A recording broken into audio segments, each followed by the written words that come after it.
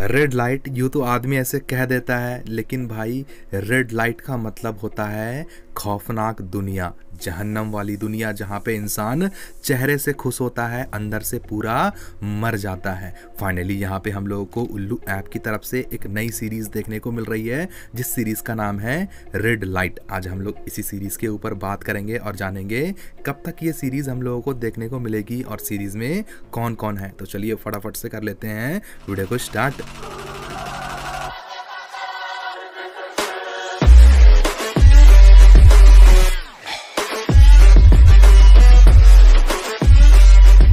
अगर ये series scene के साथ साथ उस एरिए के दुख, दर्द और बर्ताव को दिखाती है साथ में तो भाई ये सीरीज़ एकदम कड़क जाएगी। स्टोरी से लेकर सीन तक सीरीज़ के एकदम जहर आप लोगों को देखने को हो सकता है, मिल जाए। लेकिन सीरीज़ के डायरेक्टर अगर सही तरीके से इसके ऊपर काम किए हो, तभी ऐसा होगा। नो डाउट सीरीज़ में एक्ट्रेस काफ़ी गजब गजब की आई हैं। देखते हैं सीरीज़ का क्या होता है। इस सीरीज़ में आप लोगों को काफ़ी अच्छी स्टारकास्ट देखने को मिल रही रही है। सबसे पहली स्टारकास्ट आती हैं रानी परी। दूसरी बार ये हम लोगों को उल्लू ऐप पर देखने को मिल रही हैं तो इनको भी देखकर सीरीज़ में मज़ा आएगा।